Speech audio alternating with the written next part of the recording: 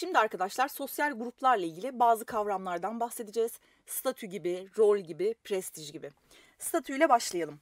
Statü kişinin toplum içindeki konumunu ifade eden bir kavramdır ve her bireyin, hepimizin çok fazla sayıda statüsü vardır. Bunlardan bazıları verilmiş statülerdir. Yani doğuştan sahip olunan statülerdir. Burada birey bunları kazanmak için herhangi bir çaba sarf etmiş değildir. Kadın olmak gibi, erkek olmak gibi, siyahi olmak gibi, köle olmak gibi. Bu tip statüler geleneksel toplumlarda çok daha fazla görülür. Mesela köle olmak, aristokrat olmak gibi verilmiş statüler geleneksel toplumlarda daha fazla görülecektir.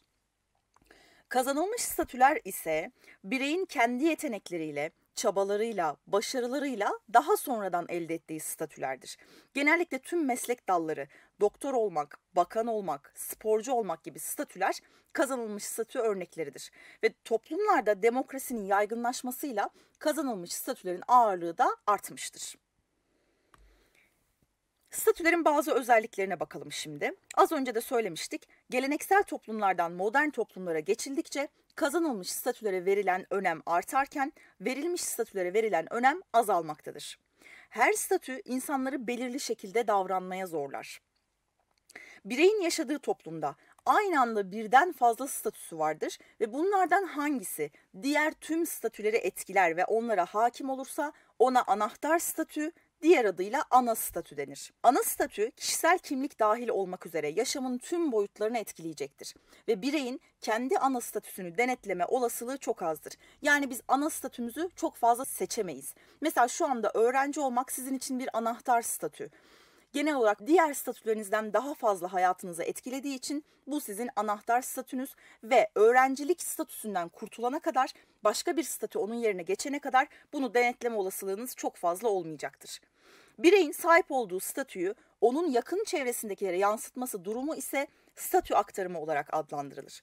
Mesela doktor eşi dediğimizde bir statü aktarımından bahsederiz. Aslında bu eşin doktorlukla herhangi bir alakası yoktur. Kendi statüsü değildir ama doktorun statüsü onun eşine yansımıştır. Ya da asker çocuğu dediğimizde yine benzer bir durum vardır. Bunun adı statü aktarımıdır. Peki sosyal rol ne demek? Kişinin statülerine uygun şekilde çevrenin beklentileri doğrultusunda gösterdiği davranış kalıplarıdır.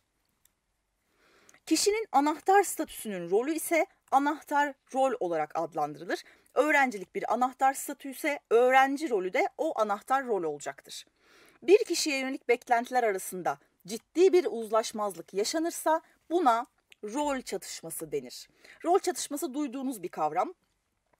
Ee, mesela bir asker evde de kurallar koyuyorsa eğer buna biz rol çatışması deriz ya da ben herhangi bir arkadaşımla sohbet ederken ona öğretmen gibi davranırsam bu benim rol çatışması yaşadığım anlamına gelir. Her toplumsal rol diğer rollerle ilişkisi sonucunda anlam kazanır.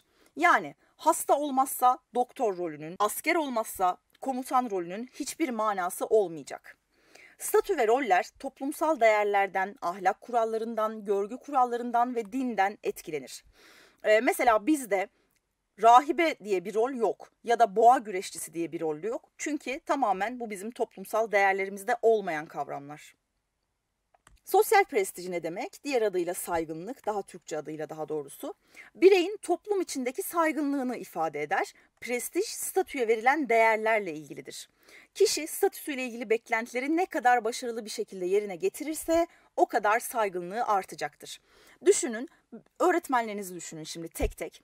Hepsinin statüsü aynı, hepsi öğretmen. Ama bazılarının prestijleri diğerlerine göre daha farklı. Bunun sebebi statüsünün gerektirdiği rolü başarılı biçimde yerine getirip getirememesiyle alakalı.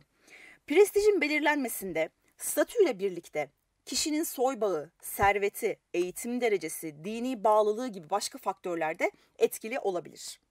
Müzik